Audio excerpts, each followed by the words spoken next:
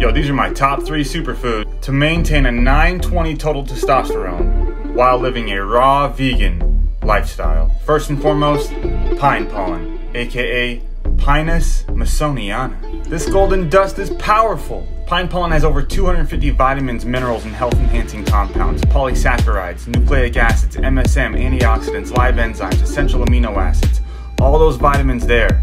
It is particularly beneficial for vegans and vegetarians not only because it's a source of vitamin D3, but it is also 30% protein. It can be used for all these uses below.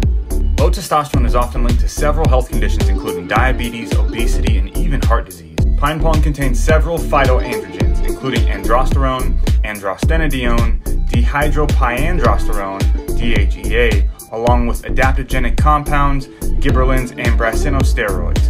All of these work together to increase testosterone levels and maintain the correct balance of estrogen to testosterone. Even small levels of testosterone have been found in the Scots pine. It's estimated that 10 grams of pine pollen contains around 0.8 milligrams of testosterone. Next is this black goo oozing out of the rocks from the Himalayas. It's called shilajit, and it was even taken by Aristotle and Alexander the Great.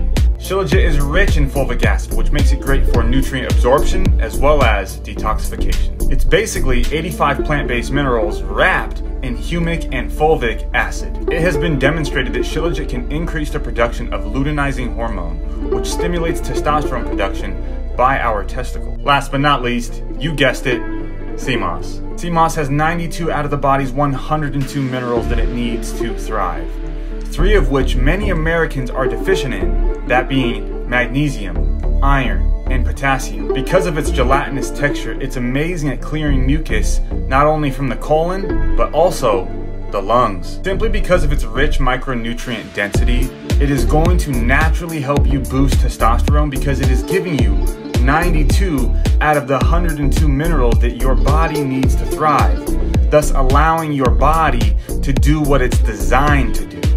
It oxygenates the cells, improves nutrient absorption, strengthens your bones, nourishes your skin, hair, and nails, boosts immunity, reduces inflammation, eliminates mucus, anti-aging, and increases energy. Now, sea moss is a natural mineralizer and a metabolic booster because of its gelatinous texture, but it's not going to detoxify you the same way that shilajit can.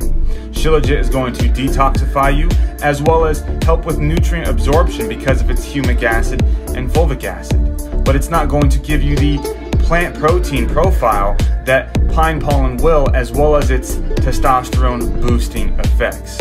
I've been taking these three superfoods for the last three years, and my testosterone now at 32 years old is higher than it's ever been. I hope you now know that they all do different things, but they all play a major role in proving that they are each individually powerful, men empowering super food. That's not to say that women cannot consume these superfoods as well. I've watched women benefit immensely from pine pollen, shilajit, and sea moss alike. You can find all three by clicking the link in my bio right here. Scroll down, the moss is available here. Scroll a little more and the shilajit is here.